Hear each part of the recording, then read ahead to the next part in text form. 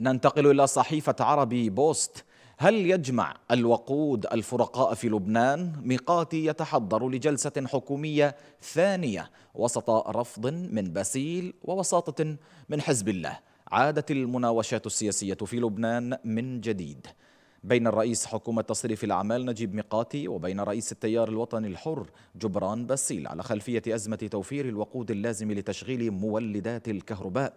وكان ميقاتي رفض إيجاد آلية لتمويل شراء الوقود اللازم لتشغيل معامل الكهرباء بحجة أن أي سلفة مالية لابد أن تمر بجلسة حكومية جديدة وهو ما يعارضه باسيل وتياره بشدة ويواصل نجيب ميقاتي مساعيه لتأمين نصاب حكومي يسمح له بالدعوة إلى الجلسة بالتنسيق مع حزب الله وحركة أمل لأن حضور وزراء حزب الله الجلسة الماضية أدى إلى أزمة كبيرة للعلاقات بينه وبين التيار الوطني الحر وتحظى خطوة ميقاتي بدعم من أطراف أساسية على رأسهم رئيس مجلس النواب نبيه بري ورئيس الحزب التقدمي الاشتراكي وليد جنبلاط ورئيس تيار ال أيضا سليمان فرنجية بالإضافة للمكون السني في الحكومة وكانت الأمانة العامة لمجلس الوزراء اللبناني وجهت ظهرا أمس كتابا إلى الوزراء لاطلاعهم على مشروع جدول أعمال الجلسة المقبلة للحكومة قبل تحديد موعدها وذلك بناء على طلب ميقاتي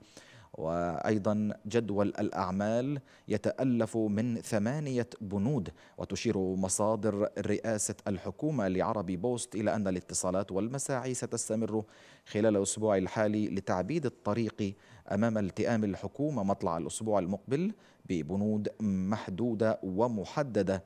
أيضا جدا بينما بينها السلفة المالية لمؤسسة الكهرباء والمناقصة المرتبطة بالوقود العراقي وتجديد عقد الصيانة للشركة المسؤولة عن أعمال النفايات.